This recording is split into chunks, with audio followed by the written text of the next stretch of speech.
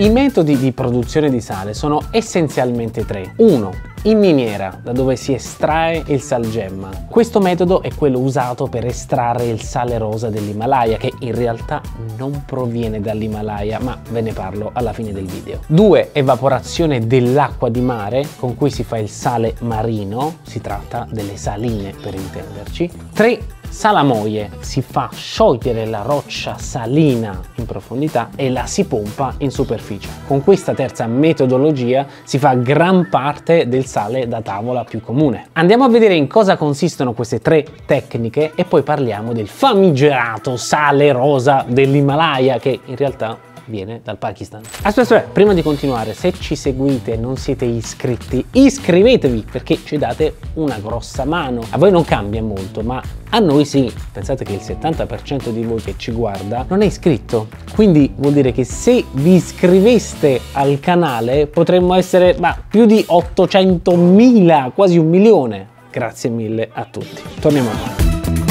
Il primo metodo è l'estrazione in miniera, molto simile all'estrazione di qualsiasi altro minerale. Il sale esiste anche come roccia, composta solitamente da salgemma o alite, cioè minerali formati prevalentemente da cloruro di sodio. Si tratta di depositi salini formati essenzialmente a causa di un'intensa evaporazione di mari antichi. L'evaporazione ha lasciato strati di sale successivamente poi sepolti dalla deposizione di altri sedimenti poi diventati roccia. Come vi ho detto dopo parliamo dell'origine del sale rosa dell'Himalaya, vi faccio vedere la miniera da dove si estrae. Quindi oggi gli strati di sale si trovano in profondità e noi scaviamo per raggiungerli e molte miniere di sale utilizzano il sistema di estrazione stanza e colonna. Cioè come funziona? E beh, I pozzi vengono affondati fino alla base della miniera e le stanze sono costruite perforando, tagliando e creando uno schema a scacchiera. Dopo che il sale è stato rimosso, viene frantumato e trasportato verso l'esterno con un sistema di nastri trasportatori. Di miniere in Italia ne abbiamo diverse, tra cui quella di Petralia, celebre e poi la miniera di sale in Polonia, che si chiama Bielicska. Oggi questa miniera è un luogo turistico, tant'è che è chiamata la cattedrale del sale perché è tutta scolpita appunto nel sale. Effettivamente è uno spettacolo. Se vi trovate in Polonia, secondo me è un must.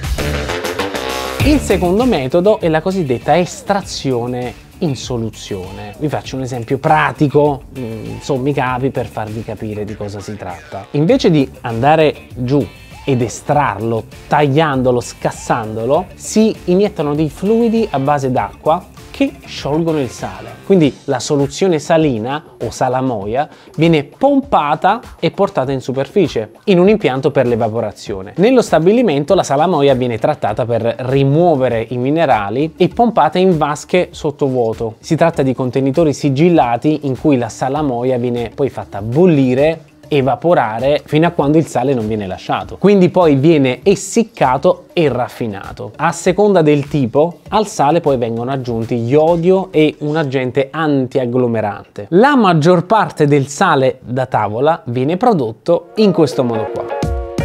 Veniamo al terzo metodo che è quello delle saline che consiste nell'evaporazione di acqua salata. Il sale viene raccolto attraverso l'evaporazione causata dall'attività del sole, dall'energia solare. Il concetto è semplice, il sole fa evaporare l'acqua da delle pozze poco profonde lasciandosi alle spalle il sale. Di solito viene raccolto una volta all'anno quando il sale raggiunge uno spessore specifico. Dopo la raccolta il sale viene lavato, scolato, pulito e raffinato. Deve deve essere raffinato perché l'acqua di mare quando evapora lascia non solo cloruro di sodio ma anche sali di calcio, potassio, magnesio che hanno un sapore amaro, è proprio brutto. Il processo di raffinazione avviene attraverso praticamente un lavaggio con acqua pura in controcorrente. L'obiettivo del trattamento è quello di ottenere cloruro di sodio ad una concentrazione vicina al 100%, generalmente comunque oltre il 99,5%. Il prodotto poi alla fine viene essiccato e completamente commercializzato come sale marino. Questo forse è il metodo più puro per raccogliere il sale, che spesso si traduce in quasi il 100% di cloruro di sodio. C'è da dire che solo quelle aree con basse precipitazioni annuali e con alti tassi di evaporazione, ad esempio i paesi mediterranei e l'Australia,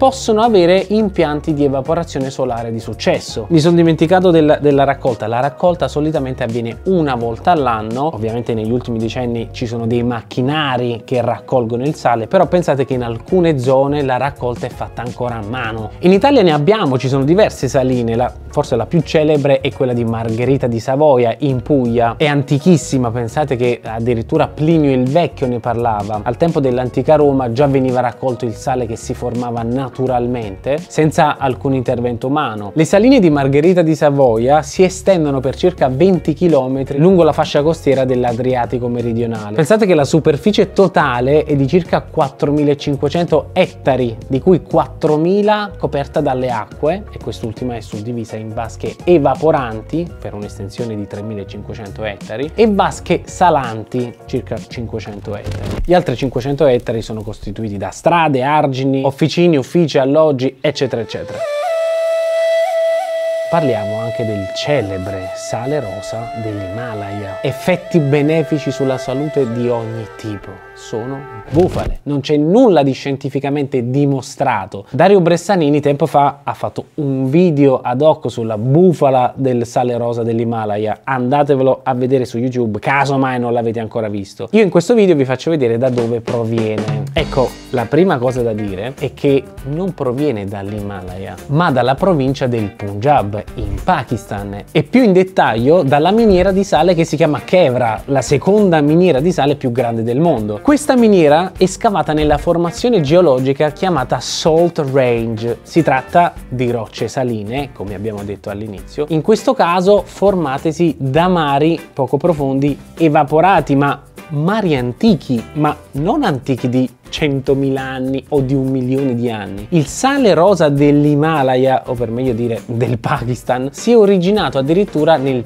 precambriano, parliamo di circa 800 milioni di anni fa. Perché è rosa? Eh, per la presenza di ossidi di ferro, ruggine per intenderci. Quanto ossido di ferro contiene il sale rosa del Pakistan? La concentrazione può essere variabile, andiamo da un minimo di 0,24 mg per chilogrammo di ferro a 0,5 50 mg per chilogrammo. E che significa che fa male? No, non fa male. Dario nel suo video vi spiega bene il perché, se non l'avete ancora visto, ve lo consiglio vivamente.